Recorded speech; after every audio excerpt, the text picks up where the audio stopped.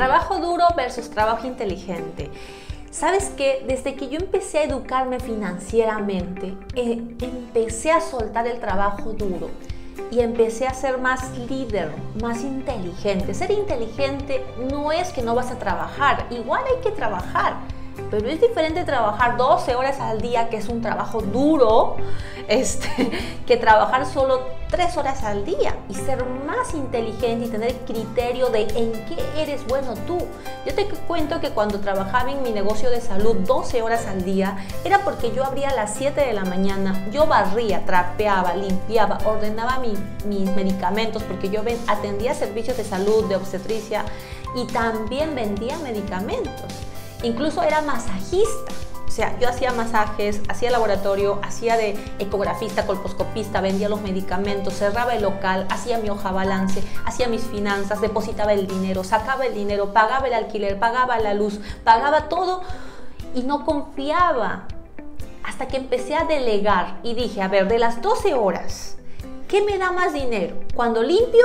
¿Cuando ordeno? Cuando mando videitos, cuando hago llamadas o cuando estoy atendiendo el servicio. Yo vendía paquetes de salud integrales entre 100 a 200 dólares y yo sabía que si solo me dedicaba 8 horas a vender los paquetes de 100, 200 dólares, pues iba a ser en 8 horas bastante dinero. Y sabía que si seguía haciendo las otras cosas que no me daban plata, pues no iba a ganar más. Empecé a delegar, contraté a alguien que haga la limpieza, alguien que haga la publicidad, alguien que haga la de secretaria, esa que tipea en la computadora, te recepciona el cliente, le sonríe bonito, le resuelve sus dudas, le cobra, le da vuelto. Mi secretaria era la que pagaba los alquileres, los proveedores, solucionaba cosas operativas y yo me dediqué solo a atender lo que sabía hacer bien, mi labor profesional. Y cuando empecé a delegar y dejé de ser yo la que hacía 10 cosas y yo me dediqué solo a una cosa, la que era más puntual y donde yo era productora de dinero, empecé a contratar como 5 personas, 5 colegas jóvenes. Ahí te conviertes en cazatalentos porque tienen que ser buenos también haciendo lo que hacen. Y tú realmente te das cuenta que si haces lo que te gusta y lo que eres bueno y lo que te produce dinero, wow, descubres, el, descubres la pólvora. o sea, tienes que hacer solo en tu trabajo o en tu negocio aquello que te gusta, aquello que la gente paga mucho dinero y aquello que te apasiona, aquello en lo que la gente sabe que tú eres bueno, que te gusta, te apasiona y sabes que la gente está dispuesto a pagar. En ese entonces mi fuerte era salud preventiva sexual.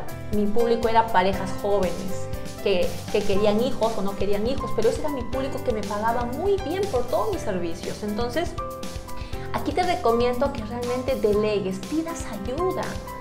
Eso es importantísimo. Sí, eso hice yo. Empecé a apalancarme del tiempo de los demás y dejé de creer que el trabajo duro, del que yo haga todo, de todo, todo el día me iba a ser millonaria. nadie se ha hecho millonario con trabajo duro. De hecho, que a los primeros años quizás sí. Los primeros años yo era mi única, mi única trabajadora en mi propio negocio, pero el segundo año empecé a contratar gente. Y lo primero que contraté fue volantera, luego administradora, la que hacía limpieza y sucesivamente. Hasta que luego contratas a alguien que hace lo que tú haces y tú te quedas libre.